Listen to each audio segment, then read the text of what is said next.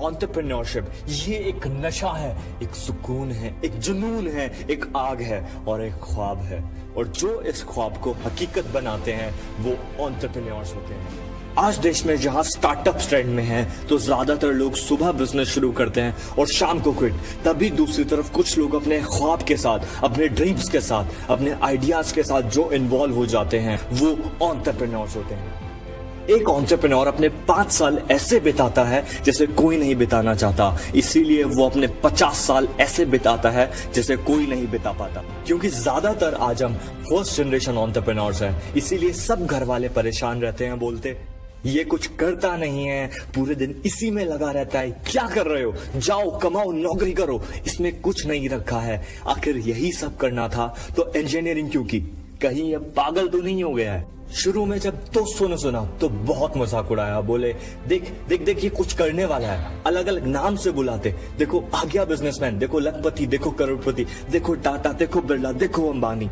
सभी आकर बोले, तू पागल हो गया है। तू जो कर रहा है, सब गलत है, सब पागलपन है। ये ज़िंदगी जीने का सही तरीका नहीं अब उन्हें कौन समझाए भला कि ये एक जुनून है, एक सुकून है, एक आशकी है, एक दीवानगी है, एक इश्क है, एक मोहब्बत है, जिसको लोग पागलपन कह रहे हैं। वो अपने विजन को रियलिटी में कन्वर्ट करेगा, अपने इम्पॉसिबल को आई एम पॉसिबल में कन्वर्ट करेगा।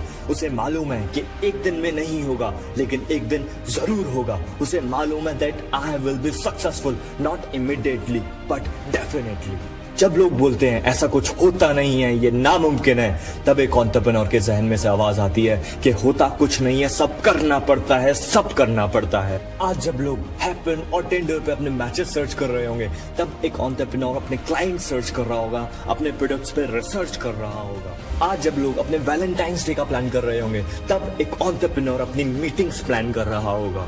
आज जब लोग अपनी पॉकेट मनी सेव कर पिज्जा ऑर्डर कर रहे होंगे, तब एक ऑन्टरप्रेन्योर अपनी पॉकेट मनी सेव कर सुबह, शाम, दिन, रात, सर्दी, गर्मी, धूप, बरसात हर वक्त मेहनत कर रहा होगा। पर इतना सब कुछ किस लिए? वो इस एक लम्हे के लिए। वो इस एक मोमेंट के लिए। और वो सब कुछ इस एक हैप्पीनेस के लिए।